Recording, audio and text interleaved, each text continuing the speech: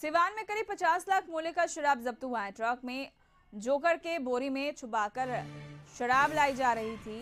चालक गिरफ़्तार हुआ है। पंजाब से ये शराब लाई जा रही थी। मैरवा थाना क्षेत्र के गुठनी मोड़ के समीप मैरवा पुलिस ने कार्रवाई करते हुए एक बड़ी जो है, वो जानकारी मिल रही है। तो सिवान से खबर, करीब 50 लाख मूल्य का शराब जब्त हुआ। ट्रक में जॉकर के बोरी में छिपाकर लाई जा रही शराब की बड़ी खेप को पुलिस ने पकड़ा है। पुलिस ने शराब के साथ चालक को भी गिरफ़्तार किया है। निरंजन हमारे साथ जुड़ चुके हैं। निरंजन, एक बड़ी कामयाबी कह सकते हैं, शराब जब्त किया गया है। कार्रवाई भी हो रही है। ट्रक के जो चालक है, उसकी गिरफ्तारी हुई है। क्या कुछ पूरा मामला? देखिए उर्वशी बहुत बड़ी खेप इसे कहा जा सकता है।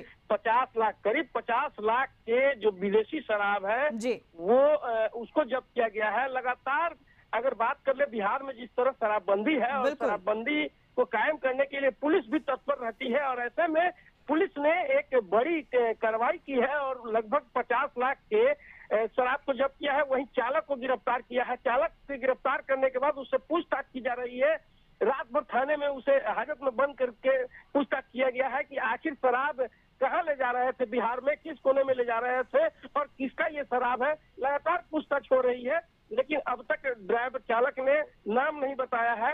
हालाँकि जो सूचनाएँ मिल रही हैं कि एक किसी बड़े जो व्यापारी हैं, उसका यह शराब था हालाँकि ये शराब किस इलाके में जा रहा था, किस ज़िले में बिहार के जा रहा था, ये अब तक खुलकर पता नहीं चल पाया। लेकिन कहीं ना कहीं ये कहा जा सकता है कि बिहार पुलिस पूरी तरह से सजग हो गई है और लगातार ऐसे तस्करों के ऊपर नकेल कसने का काम कर रही है। जी उर्वशी चलिए बहुत बहुत शुक्रिया। निरंजन तमाम जानकारियों के लिए तो करीब 50 लाख का शराब जब्त हुआ है।